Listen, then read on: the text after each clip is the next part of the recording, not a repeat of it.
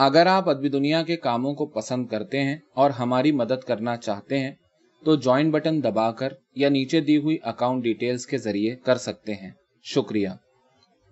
हाजरा मसरूर की कहानी। एक कहानी बड़ी पुरानी। बुढ़े नौकर ने दरवाजे में से सर निकालकर फिर कुछ कहना चाहा। ओफो भाई बहुत सुन ली तुम्हारी बातें। मेरा दिमाग न खाओ। मेरे घर रहना है तो जैसा मैं कहूँ, वही करना होगा, वरना दरवाज़ा बंद होते देख कर वो चुप हो गईं। उनके हाथ लरस रहे थे, गुस्से से या शायद सर्दी से। खिड़की के शीशों पर से पुरानी सारी से बना हुआ पर्दा भी हटा हुआ था। फिर भी कोहर के मारे हुए सूरज की रोशनी में कमरा अंधेरा लग रहा था। उन्होंने प्लास्टिक की सलाइयों पर ऊन के फंदों को आँखों के करीब लाकर गिनना शुरू किया। बेगम साहब, बुढ़े नौकर ने कमरे का दरवाज़ा फिर खोला और अंदर आ गया। अब उसके हाथ में चादर में बंधी गठरी थी। फिर जाने की धमकी दे रहे हो बख्शू मिया। तुम समझते हो मेरे हाथों में दम नहीं। फिर तुम हो किस काम के? जैसा पकाते हो खूब मालूम है। मैं ना देखूँ तो भला कोई पेट भरकर खा सकता है। बाज़ार से सौदा सलफ ला दिया और बच्चों को स्कूल से ले आए तो समझते हो घर के सारे काम निमट गए। सारा दिन तो मैं ही मरती खपती हूँ घर के कामों में। वाह, अच्छी धमकियाँ हैं जाने की। धप से गठरी फर्श पर फेंक कर बख्शू मियाँ उकड़ू बैठ गए और गठरी की गिरह खोल दी। लो, देख लो, कुछ लेकर नहीं जा रहे तुम्हारे घर से। फिर बाद में ना कहना, बस बस, देख लिया। हाँ ये स्वेटर रख दो, मैंने नया बुनकर तुम्हें दिया था। तुम्हें हमारी परवाह नहीं तो हमें भी नहीं। अब जो यहाँ काम करेगा, वो पहनेगा इसे। हो, कितना कितना ही ख्याल करो तुम्हारा, कोई फ़ायदा नहीं ना कदरे हो। वो बेहद चिड़चिड़ाकर बोलती गईं। लेकिन जब बुढ़ा नौकर गठरी बांधकर सचमुच चल पड़ा तो उन्हें एकदम शदीद कमज़ोरी का एहसास हुआ और घबराहट से खांसी उठने लगी। खांसते खांसते उनके दिल में नौकर के लिए रहम की एक लहर सी उठी। उन्होंने गर्म लिहाफ एक तरफ़ उल्टा और स्वेटर उठाकर दरवाजे के बाहर सहन में उछाल दिया। बख्शू, ये ले जाओ अपना स्वेटर। एक दफ़ा जो दे दिया, सो दे दिया। और फिर वो खुले दरवाजे में खड़ी रह गई। बुढ़े नौकर के लिए जैसे उनका दिल पिघलने लगा। जी चाहा, उसे रोक लें, मना लें। अब ये इस उम्र में कहा मेहनत करेगा? ये बेचारा तो उनकी शादी से पहले उनके मियाँ के पास था। तनख्वाह भी क्या लेता? बस पान, सिगरेट का खर्च, खाना, कपड़ा, दवा, इलाज और सर पर छत उसके लिए बहुत। अजीब साधुओं और त्यागियों जैसा रवैया था उसका। नाराज़ होता तो कुछ दिन के लिए अपनी गठरी लेकर चला जाता। दो चार घरों में रहकर और वहाँ से भी रूट कर फिर यहीं वापस आ जाता है। बेचारा मगर वो सोचती रही, कुछ कह ना सकी। खांसी ऐसी मुँह भरकर आई कि वो गुसल खाने की तरफ़ दौड़ी। खांस कर थूका तो बलगम पर खून की सुर्ख धारी चमकी। घड़घड़ा कर जैसे चलती रेलगाड़ी पटरी पर रुक गई। कानों में इंजन सनसनाने लगा। उन्होंने जहन की खिड़की से झाँक कर देखा। वही सैनिटोरियम वाला स्टेशन। वो घबरा कर पलटी और लिहाफ में खौफजदा बच्चे की तरह छुप कर बैठ गईं। और फिर ऊन और सलाइयाँ नज़र आईं तो कुछ यूँ तेज़ी से बुनने लगी, जैसे ऊन के ये फंदे उनके आवारा ख्यालात को भी जकड़ लेंगे। ओह, जुकाम है, जुकाम बिगड़ गया है शायद। ऐसे में गले से खून आ जाता है। मगर मैं इतनी चिड़चिड़ी क्यों हो गई हूँ? शायद बुखार है। उन्होंने एक खूब गहरी सांस ली, जो उनके होठों और ठोड़ी पर लू के झोंके की तरह लगी। ऊन और सलाइयाँ तिपाई पर डालकर वो उठी और दीवारी अलमारी खोलकर कुछ ढूँढने लगी। न जाने औरतें अपनी चीज़ें इस कदर बंद करके क्यों रखती हैं? ताले वाली अलमारी और उसके अंदर बंद डब्बे, ताले वाली छोटी छोटी संदूकचियाँ, टॉफी के खाली डब्बे, बड़े मुँह की बोतलें, किसी में जहेज के कपड़ों से उतारा हुआ लचका गोटा, किसी में सलमा सितारे की बेलें, किसी में शीशे की चूड़ियाँ, किसी में झूठे नगों के नकली जेवर और कहीं घरेलू दवाइयों की शीशियाँ। मगर वो ये चीज़ें तो नहीं ढूंढ रही थी। आखिर एक बड़े से फूलों और तितलियों के छाप वाले डब्बे में वो उलट पलट करने लगी।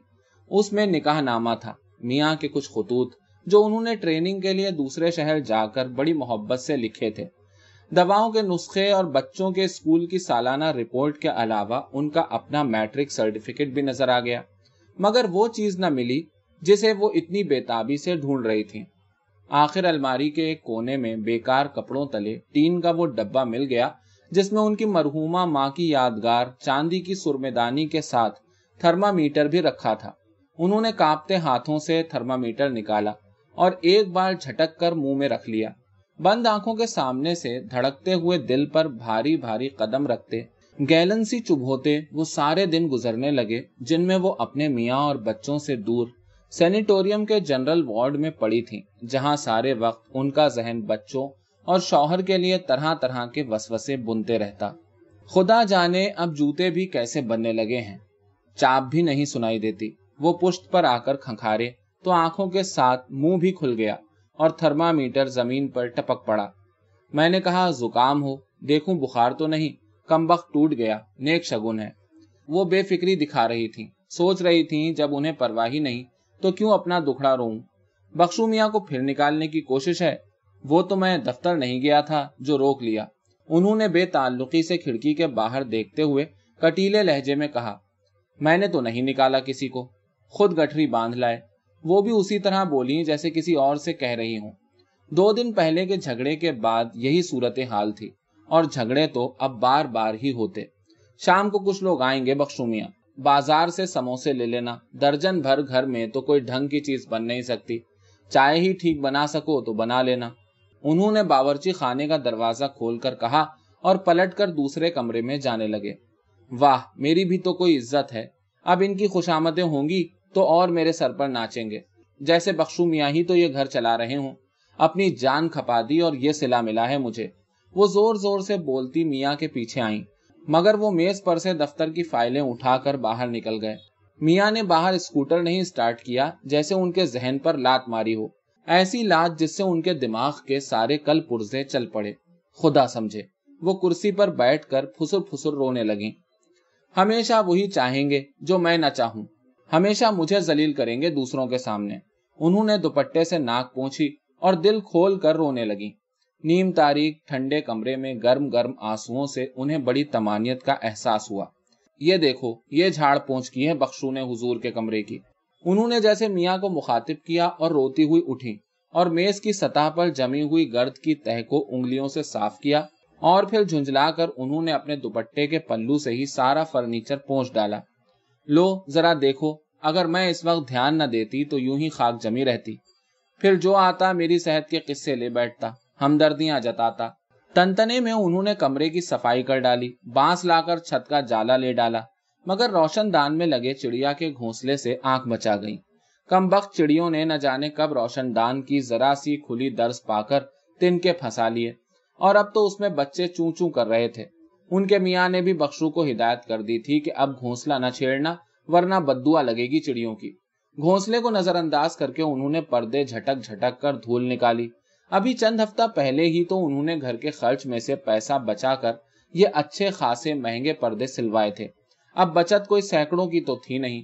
यही अंडों में, गोश्त में, दूध में डंडी मार लेती। डॉक्टर ने उन्हें अंडा, दूध, मक्खन रोज खाने की हिदायत की थी। मगर वो ये चीज़ें खाती रहती और पर्दे न बनते तो वो और बीमार न हो जाती। डॉक्टर ने ये भी तो कहा था कि खुश रहा करो। घर बना तो खुशी हुई। अब नए घर में सब पुरानी चीज़ें तो अच्छी नहीं लगती। इसलिए एक पर्दे ही क्या? ये मेज, ये कुर्सियाँ, ये सोफा भी तो उन्होंने ही खरीदा था। ये कमरा तो उन्हें इतना अज़ीज़ था कि बच्चों को यहाँ घुसने ना देती। मगर ये बड़े मियाँ बख्शू हैं कि इन्हें चीज़ों की अहमियत और कदर का पता ही नहीं। बड़ी देर तक वो खांस खांस कर कमरे की सफ़ाई करती रही। कुर्सियों की तरतीब बदल डाली। दीवारों पर लगी बच्चों, मियाँ और अपनी तस्वीरें गीले कपड़े से पोछी और फिर तस्वीर के सामने देर तक खड़ी रहीं। सब झूठ थोड़ा ही कहते हैं कि मैं खूबसूरत हूँ, उन्होंने मुस्कुराकर सोचा। उन्हें अपनी तस्वीर देर तक देखने से बड़ी तमानियत और एतमाद महसूस हुआ।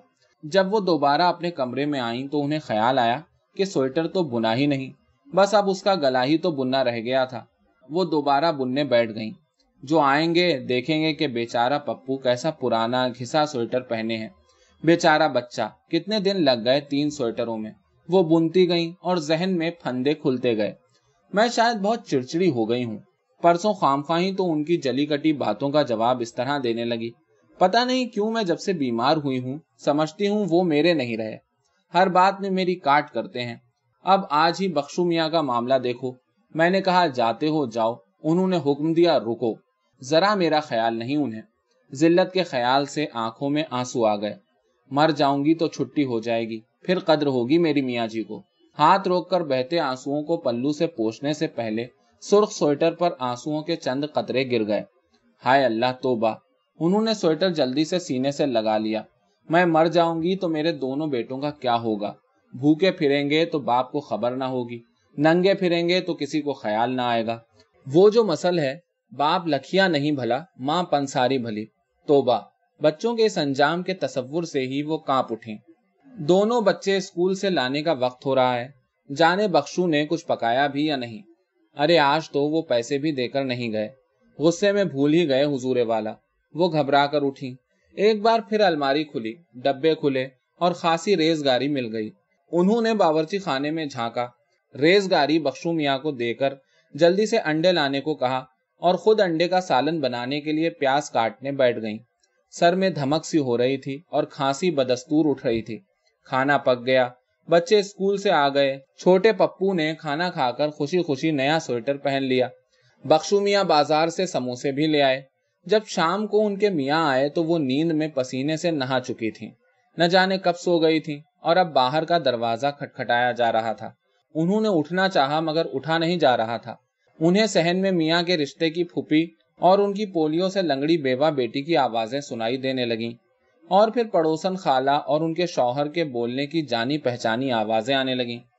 हाँ तो ये हैं हमारी किस्मत के मेहमान। मुझे मालूम था, जब लड़ेंगे तो मुंसिफी के लिए इन्हीं लोगों को बुलाएँगे। और वो इनके क्लर्क दोस्त भी तो आएँगे। हाँ में हाँ मिलाने। उन्होंने बमुश्किल घसीट कर अपने आप को उठाया, खांसती हुई गुसल खाने में गईं। मुँह हाथ धोया, दुपट्टा बदला और बच्चे की खांसी का शरबत घूंट भर पी गईं। कि अब यूँ ही खांसी रही तो खांसी का हिसाब किताब किसे किसे समझाएँगी? और फिर अंदर ही अंदर कांपती उल्टे हुए लिहाफ से टिक कर यूँ बैठ गईं, जैसे कहीं की मलिका हूँ, और अब मेहमान उन्हें सलाम करने हाजिर होंगे। मगर गुस्से और हद तक के एहसास से उनका दिल यूँ धड़क रहा था, जैसे पसलियाँ तोड़ कर निकल पड़ेगा। मैं क्यों झगड़ी उनसे? वो तो बस मेरे सैनिटोरियम से आने के बाद से पत्थर बन गए हैं। कुछ कहूँ, सुनते ही नहीं। फिर मैं सुनाने को क्यों मरी जाती हूँ? जाने मुझे क्या हो गया है। कहीं वो उन सब के सामने ये ना कह दें कि मैं रात को उनसे झगड़ा कर उनके कमरे के फर्श पर पड़ी रोती रही थी कि शायद मनाएँगे। मुझे उनके कमरे में जाने की क्या ज़रूरत थी? नहीं बोलते, नहीं पूछते, न सही। अल्लाह ने दो बेटे दिए हैं, ये सलामत रहेंगे। बच्चे क्या माँ की बातें, हरकतें नहीं समझते? बड़े होकर खुद फैसला करेंगे मेरा उनका। ना बोले, न पूछें। दूसरे कमरे में उनके मियाँ बोल रहे थे। देख लीजिए मिजाज सुबह से बता दिया था कि आप लोग आएँगे। मुझसे नाराज़ तो दुनिया से नाराज़। अपने मियाँ का फिक्रा पूरा होने से पहले वो कमरे में हाजिर हो गईं। वही छलकती हुई नीम व आँखें बुखार से तमतमाया हुआ रंग, समोसों की प्लेट उनके हाथ में थी। आओ बैठो बेटी, बख्शू मियाँ ले आएँगे चाय वाय। फूपी दीवान पर एक तरफ़ खिसक गईं। बख्शू मियाँ, अरे फुप्पी शुक्र कीजिए वो तो मैं घर में मौजूद था, वरना ये तो उसे भी धक्का दे चुकी थी। मियाँ ने बड़े जोश से सबों को इत्तला दी। और दाद तलब नज़रों से देखने लगे, और वो बमुश्किल खुद को चीख कर बोलने से रोक सकी। आपको तो मालूम है फूफी, बख्शू मियाँ की आदतें।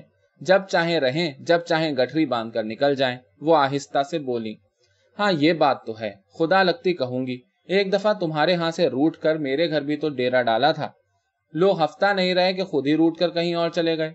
बस बेचारे बख्शू बूढ़े हो गए बहुत, और फिर बिटिया, ये नौकरों का, फूफी बख्शू मियाँ के किस्से में उलझ गई।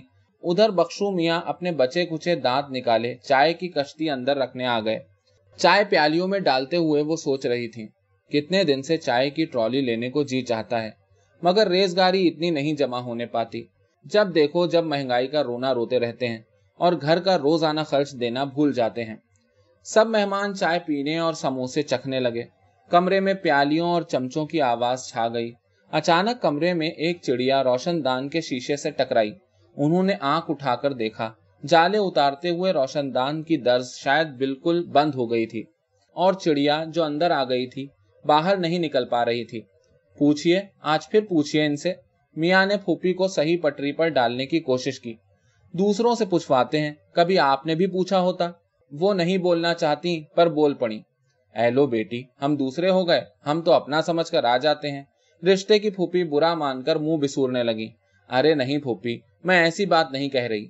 मैं तो इनसे कह रही हूँ कि आपके भतीजे से उन्होंने कपकपा कर पुरानी गर्म चादर अपने गिर्द ज़ोर से लपेट ली, जैसे चादर तले खुदा जाने क्या क्या छुपा रही हूँ। तुम्हें क्या नहीं पूछा? तुम्हारे पास क्या नहीं? तुम्हें क्या सड़क पर बिठा रखा है? शुक्र नहीं करती नए मकान में बैठी हो। तुम्हें खाने को नहीं मिलता, पहनने को कपड़ा नहीं, दवा इलाज नहीं होता, और क्या पूछूँ? बताओ ना। मियाँ की आवाज़ बुलंद होने लगी। हाँ हाँ बेटी पड़ोसन खाला के शौहर ने रसान से कहा, घर के ताने रात दिन सुनती हूँ, जैसे घर इन्होंने बनवाया हो खड़े होकर। अरे, मैं ना होती तो ये घर बनता। अपना पेट काटा, अपना जी मारा, पैसा पैसा दांतों से पकड़ा, जब ये घर बनाए। मैंने तो अपने प्रोविडेंट फंड का पैसा भी इसी में डाला। छह तोले सोने का सेट था मेरे जहेज का, वो भी बेचकर इसी में लगा दिया। वो बोलती चली गई, सुन लिया आप लोगों ने, इतनी छिछोरी तबीयत है इनकी। आज खुली सबके सामने। हमने इन्हें खिलाया, पहनाया, दवा इलाज के लिए रात दिन की बीमार। आज ये जेवर और रुपए का ताना दे रही हैं। क्या मैंने तुमसे रुपया जेवर मांगा था? कसम खाकर कहो, बच्चों के सर की। मियाँ आग बगूला हो गए। हर बात का गलत मतलब निकालते हैं। मैं तो कह रही थी, मैंने इस घर के लिए, आपके लिए सभी कुर्बान कर दिया। और आप हैं, मेरी जरा परवाह नहीं करते। मैंने आपके कहने पर अपनी दस साल की स्कूल टीचरी भी छोड़ी शादी के बाद। वो भी बोलती गई अरे बीबी नेक वक्त औरतें अपने घर के लिए ऐसा ही करती हैं। बूढ़े क्लर्क ने कहना शुरू किया, मेरी बेटी ने तो क्लर्क की बेटी की कुर्बानियों की फहरिस्त लंबी थी, जिसे वो अपने खौलाओं में नहीं सुन रही थी। वो तो कमरे में मौजूद चिड़िया की तरह हिरासा थी, जो अब बाहर की राह ना पाकर बार बार सबके सरों पर उड़ रही थी। हाँ सच तो है, इसमें गिराने की क्या बात है? ये तो बेटिया हमेशा से होता आया है। अब तो खैर से मर्द इतने शौकीन भी नहीं रहे। बहुत हुआ तो सिनेमा देख आए दोस्तों के साथ, होटलों में चाय पी ली। हमारे मियाँ ने तो लाख का घर खाक कर दिया था। हमारा ढेरों जेवर गाने बजाने वालियों को पहना दिया। उस पर भी यही कहते कि अपने बाबा के घर से और लाओ। अल्लाह जन्नत नसीब करे, उनमें कौन सी लत नहीं थी? और ये तुम्हारा मियाँ? बेचारा घर से दफ्तर दफ्तर से घर। अरे शुक्र किया करो। ऐसा भोला भाला मियाँ मिला है। एक हमारी इस बेटी ने भुगतना था। उन्होंने अपनी पोलियो जदा बेटी को देखकर लंबी आह भरी। घर में भी आएँगे तो जैसे दफ्तर में बैठे हैं। कभी घर का हाल पूछा दो बरसों में। जब से मैं बीमार हुई तो उनकी आवाज़ भर्रा गई। हाँ हाँ और खूब तबल मचाओ। आँसू तो तुम्हारी पलकों पर धरे रहते हैं। जब घर में आओ, मुँह सूजा हुआ देखो। वो तड़क कर बोले और बोलते चले गए। कभी तुमने पूछा कि मेरा हाल क्या है? मेरी क्या परेशानियाँ हैं? दफ्तर के क्या हालात हैं? मकान का कर्ज सर पर चढ़ा हुआ है। साहब, ये तो चाहती हैं कि घर में बैठा इनका मुँह देखता रहूँ। इनके कसीदे पढ़ता रहूँ। वो बोलते गए। तो वो एकदम चीख उठी। देखिए, हद होती है, बस कीजिए। ये कसीदे पढ़ेंगे मेरे, उन्होंने आँसू जब्त किए। देखा आप लोगों ने? देखा? सीधी बात है, ये मुझसे बेजार हो गई हैं। मैं टिकट ले आया हूँ रेल का। ये दो एक महीने अपनी बहन के पास रहे आए। कराची में सर्दी भी नहीं। बच्चों को फूफी आप संभाल लीजिएगा। मियाँ ने किस्सा तमाम किया और एक समोसा उठाकर दांतों से कतरने लगे। मैं क्यों जाऊँ किसी के घर अपना घर छोड़कर? अपने बच्चे छोड़कर? और फिर छोटी बहन की ससुराल में? ये भी खूब रही। मेरा भाई होता तो शायद जाने का ठिकाना होता। वो एकदम फपक कर रो पड़ी। है ठीक तो कह रही है ये। भाई बाप के घर जाना तो ठीक होता है। मगर बहन की ससुराल में तो पड़ोसन खाला बोल पड़ी। बहन आकर नहीं रही थी एक महीने? ऐ, अब ऐसा भी क्या? फूपी बोली। और बोलती चली गई। भाई, आजकल की औरतें भी खूब हैं। ऐ, हम तो जब बेजार होते थे तुम्हारे फूफा से तो बहन, भाई, खाला, मुमानी, चच्ची जिसके घर जी चाहा अपने बच्चे समेट कर मेहमान हो जाते। फिर कुछ देर बाद खुद ही मनाने आते अल्लाह बख्शे। हमारी अम्मा कहती थी, इस तरह बीवी की कद्र हो जाती है मियाँ को। ये मुझसे जान छुड़ाना चाहते हैं। मैंने इनके लिए क्या नहीं किया? हांडी से अच्छी बोटियाँ इनको दी। घी इनके बर्तन में डाला। इनके कपड़े धोए स्त्री की, जूते पॉलिश किए। अरे हमने तो कभी कोई जमादारनी भी सफ़ाई के लिए नहीं रखी। मैंने घर के खर्च में से पैसा पैसा जोड़ा और इस घर पर खर्च किया। क्या कुछ नहीं किया? बच्चे पाले। कभी बच्चों की बीमारी आजारी में नहीं कहा कि दफ्तर से छुट्टी लो। और अब कह रहे हैं कि मैं चाहती हूँ ये घर बैठकर मेरी सूरत तकें। अरे कभी तो पूछें कि मरती हो या जीती हो। अरे बेटी, अल्लाह ने औरत को इतनी हिम्मत दी है कि सब करती है। इसका क्या ज़िक्र करना? मेरी बेटी ने तो बूढ़े क्लर्क ने फिर अपनी बेटी का ज़िक्र छेड़ा, मगर किसी ने उधर तवज्जो न दी। तुम्हारा क्या हाल पूछें? सदा की बीमार। मियाँ मुँह लटका कर बोले, मैं सदा की बीमार थी? अल्लाह हद है झूठ की भी। मैं तो तुम्हारे घर आकर बीमार हुई। बस क्या कहूँ, डॉक्टर ने नहीं कहा था कि नाकिस गजा और अल्लम गल्लम से ये बीमारी होती है। वो तड़प कर ज़ोर ज़ोर से रोने लगी। सबने एक दूसरे की तरफ़ देखा और फिर नज़रें झुका ली। सर्दी का गुरूब होता हुआ सूरज भी एक बादल के टुकड़े के पीछे छुप गया और कमरे में अंधेरा बढ़ गया। चिड़िया आप कमरे में बेताबी से उड़ी और फिर रोशनदान के शीशे से टकरा गई। तुम कितना कितना बीमार हुए, मैंने कभी किसी से नहीं कहा। किसी से फरियाद नहीं की। डॉक्टर कहता था कि तुम्हारी खानदानी बीमारी तुम में और बच्चों में। वो बैन कर रही थी कि मियाँ खड़े हो गए। खबरदार जो खानदान की बात की, जबान खींच लूँगा। देख लीजिए, अब खुद जो चाहे कहें सबके सामने। वो ज़ोर ज़ोर से रोने लगी। है भाभी, शरीफ औरतों की आवाज़ घर से बाहर नहीं जाना चाहिए। पोलियो जदा नंद ने उसके मुँह पर हाथ रख दिया। मगर वो उस वक्त अपने आपे में न थी। उन्होंने वो हाथ झटक दिया। अच्छी शराफत है। ये सारी दुनिया को सुनाए और मैं न बोलूँ। सुन लीजिए, ये मुझे बोझ समझते हैं। इनका जी भर गया है मुझसे। मेरी हर बात इन्हें बुरी लगती है। और मैंने इनके लिए क्या नहीं किया? वो उसी तरह रोते हुए बैन करती रही। चुप रहो। मैं कहता हूँ, चुप रहो। तुम जाओ अपनी बहन के पास। जाओ, सामान बांधो। जब तक मैं ना बुलाऊं, मुझे आकर सूरत ना दिखाना। वो नहीं आकर रही थी तुम्हारे पास? वो शेर की तरह दहाड़े। दो दिन मेरी बहन आकर रही थी। बेचारी को सास ने मारा था। ना आती तो क्या करती? अब ये एहसान जता रहे हैं। आखिर ये घर मेरा भी तो है। मैंने इसमें अपना प्रोविडेंट फंड डाला, अपना जेवर डाला, मैंने कौड़ी कौड़ी बचाई, मैं नहीं जाऊँगी अपने घर से। वो चीखी, बिल्कुल दीवानों की तरह। आप लोग नहीं समझा सकते इस औरत को। ये किसी की सुनने वाली नहीं। मियाँ ने बेबसी से सबको मुखातिब किया। तुम दूसरे कमरे में चली जाओ। अच्छा मेरे साथ आओ। पड़ोसन खाला का जी भराया मगर खाला, मैं क्यों जाऊँ? मेरा क्या कसूर है? इनका दिल कहीं और अटका है। ये मुझे नहीं पूछते, फिर किसे पूछते हैं? मैं सब समझती हूँ। वो मचल मचल कर रोती और कहती रही, भाभी, अब भैया टिकट लाए हैं तो दो चार दिन को कराची, पोलियो जदा नंद ने समझाना चाहा। मैं नहीं जाऊँगी अपनी हँसी उड़वाने। मैं अपने बच्चों को नहीं छोड़कर जा सकती। उस वक्त गेंद बाहर से आकर दरवाजे पर ज़ोर से लगी।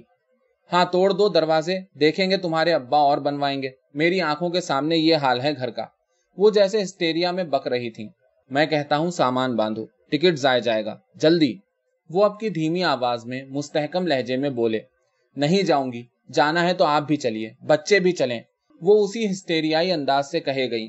उनकी आँखें बंद हो रही थी और आँसू थे कि मुँह धो रहे थे। अच्छा तो फिर मियाँ की कैफियत बिल्कुल आतिशबाजी के अनार जैसी हो गई, जिसको दिया सलाई दिखाई गई हो। तो फिर तो फिर मैं तुमको तलाक देता हूँ, तलाक। और जैसे उस अनार के सारे जलते फूल उन पर बरस गए। फिर भी न जाने कैसे उनका कांपता हुआ हाथ बेख्तियार आगे बढ़ा। दरमियानी गोल मेज जैसे उन्हें नज़र नहीं आ रही थी। वो मेज पर औंद गईं और जाने कैसे उन्होंने मियाँ की पतलून का पायचा मजबूती से मुट्ठी में जकड़ लिया और कुछ कहने की कोशिश में हाँपने लगी। आँखों और नाक से बहता पानी, खुले होंठ और उजड़े बालों में चमकते सफ़ेद बाल, वो इस आलम में कैसी बदसूरत लग रही थी। सबने नज़रें झुका ली। मियाँ मुँह फेर कर खड़े हो गए। पड़ोसन खाला ने अपने आँसू खुश किए बगैर बड़ा ज़ोर लगाकर उन्हें मेज पर से उठाया और तले के काम वाली बोसीदा गर्म चादर उनके सर पर डाल दी। जो होना था, वो हो गया। अब इनसे तुम्हारा पर्दा वाजिब है। पड़ोसन खाला के शौहर ने बमुश्किल खखार कर भारी आवाज़ में कहा, और सर झुकाया तो उनकी गहरी सांस से अल्लाह निकला। उन्हें रिश्ते की फुपी ने बिठा दिया कि गिर ना पड़े। मगर वो अपनी कलाई में पड़ी सोने की तार जैसी दो चूड़ियाँ खसोट कर उतारने लगी। क्या ये चूड़ियाँ आपके घर की हैं जो उतार रही हैं? बूढ़े क्लर्क ने मियाँ से सवाल किया। जी, मगर जो दे दिया सो दे दिया। इनसे कहिए चूड़ियाँ पहने रहें। मियाँ ने मध्यम आवाज़ में कहा। लेकिन वो तो जैसे कुछ सुन ही नहीं रही थी। चूड़ियाँ उतार कर मेज पर डाल दी और फिर कांपते हाथों से कानों में पड़ी छोटी छोटी बालियाँ भी उतार कर चूड़ियों के बीच में रख दी। मगर ये बालियाँ तो उनके जहेज की थीं। फिर वो कांपती हुई खड़ी हुई और सर पर से तले के काम वाली चादर भी उतार कर मेज पर डाल दी और खामोशी से दरवाज़ा खोलकर दूसरे कमरे में चली गईं। है है, बेचारी का लड़कों पर भला क्या हक अरे कोई बेटी ही पैदा हुई होती तो यूँ अकेली ना निकलती घर से हाय पड़ोसन खाला ने सोचा और अपनी आँखें और नाक पोछती दूसरे कमरे में उनके पास चली गईं। अब कमरे में खामोशी और सर्दियों की शाम का अंधेरा उतर रहा था मियाँ ने हाथ बढ़ाकर बिजली का बल्ब रोशन किया तो चिड़िया फिर हर तरफ़ उड़ने और रोशनदान के शीशे से टकराने लगी। मियाँ ने चिड़िया को देखा और फिर बाहर खुलने वाला दरवाज़ा खोल दिया कि चिड़िया घोंसले तक पहुँचने का रास्ता खुद तलाश कर लेती हैं।